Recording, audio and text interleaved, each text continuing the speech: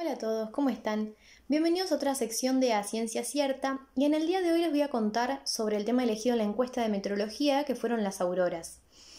Las auroras son fenómenos ópticos muy lindos y realmente muy increíbles y se generan por la interacción de partículas solares que alcanzan la atmósfera terrestre y al estar cargadas de energía interactúan con las partículas que se encuentran presentes en la atmósfera, particularmente con las partículas de oxígeno y nitrógeno.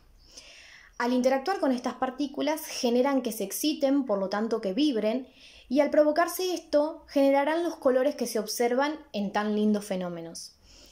Por ejemplo, la excitación de las partículas de oxígeno es la responsable de aquellos colores verdes y amarillos que se observan en estos tipos de fenómenos. Yo les voy a mostrar una imagen para que observen. Estos colores son los más comunes que se dan en estos tipos de fenómenos. Acá tenemos otra. Realmente son hermosos. Y la vibración o excitación de las partículas de nitrógeno es la encargada de generar los colores rojos, azules, violáceos, que también se observan en estos fenómenos.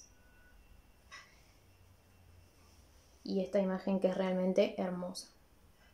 Otra característica que tienen estos tipos de fenómenos tiene que ver con que generan un ruido. Este ruido no es audible por los seres humanos debido a que se da a muchos kilómetros de altura, pero es un ruido semejante al de estar caminando sobre hojas secas, o sea, se escucha un crujido a la hora de la ocurrencia de este fenómeno.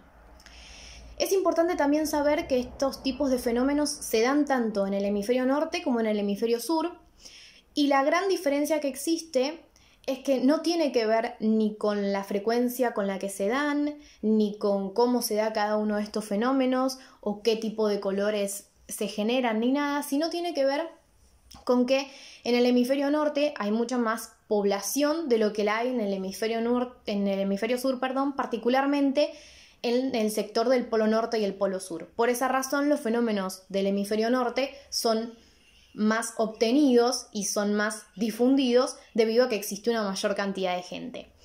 Las auroras que se dan en el hemisferio norte se las denomina auroras boreales y las que se dan en el hemisferio sur se las denomina auroras australes.